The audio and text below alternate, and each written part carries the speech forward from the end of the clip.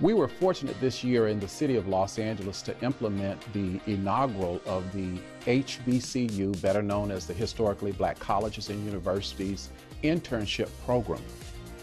In this program, we had a focus to introduce students from historically black colleges to the various engineering hiring departments and bureaus in the city of Los Angeles. And second, to explore the various engineering challenges in the city of Los Angeles with an understanding of the solutions and engineering projects that we implement on an everyday basis in this great city, the second largest city in the country. Finally, we believe that this experience will have given students an opportunity to observe the engineers in the city of Los Angeles and the different cultures that they have come from, while at the same time realizing what kind of cultural diversity they could bring.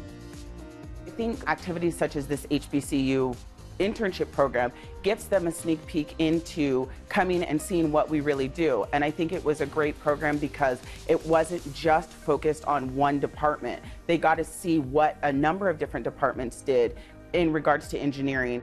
My department, LA Sanitation Environment, we had the privilege of managing, organizing, and being the, the project lead for this project. My role is being the, the program manager and program coordinator and the main contact person.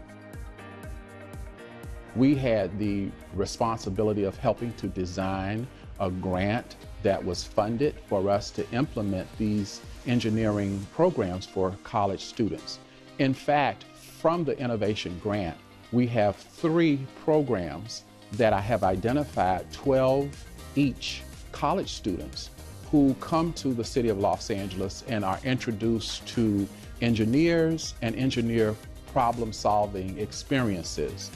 My greatest takeaway from this program, I would say, is the strength in diversity, originality, and individuality. For me, it's kind of hard to pick one topic, but I would say um, some things that stood out to me was like the transportation, uh, construction management part, and also the port of LA and how much money they actually bring in. My biggest takeaway from this internship is about recycling and being green, just being more mindful about how much plastic I'm using. For me, it's confidence because it's easy to feel marginalized, whether it's because I'm young, because I'm female, because I'm black.